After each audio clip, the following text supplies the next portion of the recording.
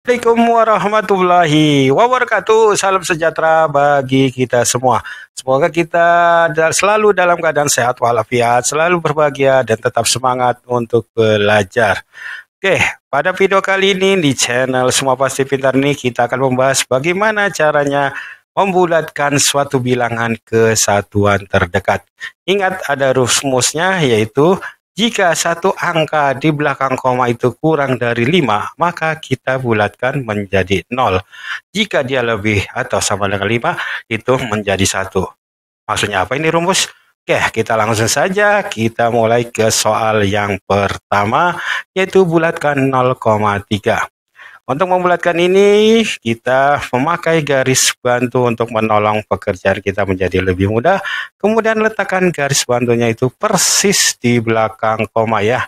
Jangan persis di belakang pintu, nanti diambil nama gurunya ya. Nah, 0,3 berarti kita tuliskan nolnya di sini. Kemudian kita tambah saja, tambah.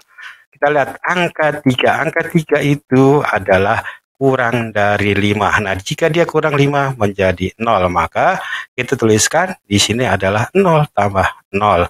0 tambah 0 adalah tetap 0, yaitu bulat. Oke. Kemudian ke soal nomor 2, bagaimana kalau angkanya 7,5 Pak? Oke, kita kasih garis bantu juga persis di belakang koma seperti ini. Nah, kemudian kita tuliskan angka 7, 7 kita tulis dulu karena dia angka 7 aja, kemudian tambah kita lihat di sini adalah angka 5. Angka 5 itu masuk kriteria jika lebih besar atau sama dengan dari 5, maka kita bulatkan menjadi 1. Berarti di sini angka 1 dong, bukan 0. 7 ditambah 1 adalah 8. Nah, itu kalau satu angka di belakang koma. Bagaimana kalau dua angka di belakang koma? Oh, caranya juga sangat mudah masih. Kita taruh tetap garis bantu itu persis di belakang koma. Jangan dirubah-rubah ke tempat yang lain. Ya, berarti kita tuliskan sisanya kan satu ini berarti satu ditambah. Nah, kita lihat. Di sini ada jebakan Batman. Kalau kita lihat, di sini angkanya adalah 15. Kalau yang hmm, apa namanya ngelihat rumusnya ini asal. Berarti dia lebih dari lima dong pak. Harus jadi satu. Bukan. Kita yang melihatnya adalah angka persis di belakang koma ini. Jadi yang angka satu ini. Ya yang dilihat yang angka satu ini jangan melihat yang ke belakang. Jadi yang kita lihat kalau sini angka satu berarti dia itu adalah kurang dari lima. Maka kita bulatkan menjadi nol. Jadi dia tetap nol. Jangan jadi satu. Satu ditambah nol adalah satu Nah, oke, kita ke soal yang nomor 4. Nah, kita kasih garis bantu seperti ini juga. Ini tiga digit loh di belakang koma, tetap aja bodo amat gitu. Yang penting garisnya itu persis di belakang koma. Berarti sini adalah karena dia ada angka 4, berarti angka 4 ya. Kemudian tambah, kita lihat ini lima. Jangan lihat yang ke belakang. Ingat yang persis di belakang koma atau di persis di garis bantu ini. Lima. Lima itu lebih atau sampai dengan lima, yaitu dibulatkan menjadi satu. Berarti dia buletin jadi satu. Empat ditambah satu adalah lima. Nah, kita soal empat soal udah selesai. Kita ke soal nomor lima. Aduh, lelah juga ya. Oke. Kemudian 12,8 sekarang. Nah, seperti ini. Kita garis bantu persis di belakang koma seperti ini. Nah, bagaimana 12,8 ya? Ya, kita tulis 12-nya dong, jangan 12 tapi 12 langsungnya karena ini di belakang apa di depannya garis itu 12. Kemudian ditambah, kita lihat. 8 itu lebih dari 5, jadi dibulatkan menjadi 1. 12 ditambah 1 adalah 13. Nah, bagaimana kalau 43,35? Tetap garis bantu taruh di sini di belakang koma.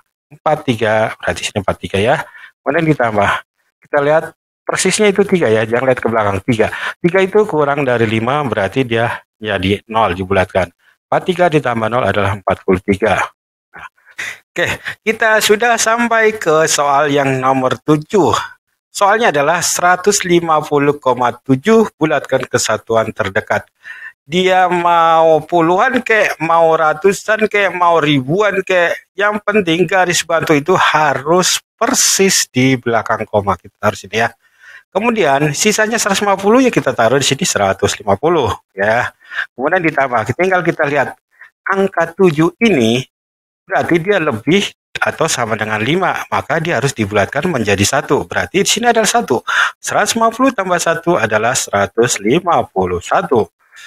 Dan soal terakhir 321,09. Letakkan seperti biasa di persis di belakang koma.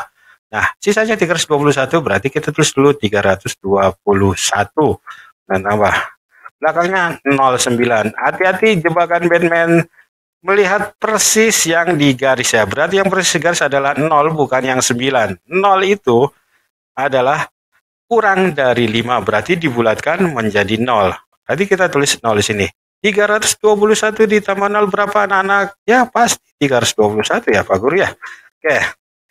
Kita sudah menyelesaikan 8 latihan soal untuk pembulatan kesatuan terdekat ini. Papi harapkan semua yang melihat ini menjadi bisa atau pintar. Papi tidak mau mendengar ada yang tidak bisa karena ini soalnya sudah sangat mudah sekali, sangat mudah untuk dipahami. Oke, sekian dari Papi. Semoga materi kali ini bermanfaat bagi kita semua. Wassalamualaikum warahmatullahi wabarakatuh. Salam sejahtera bagi kita semua. Jangan lupa untuk like dan subscribe-nya.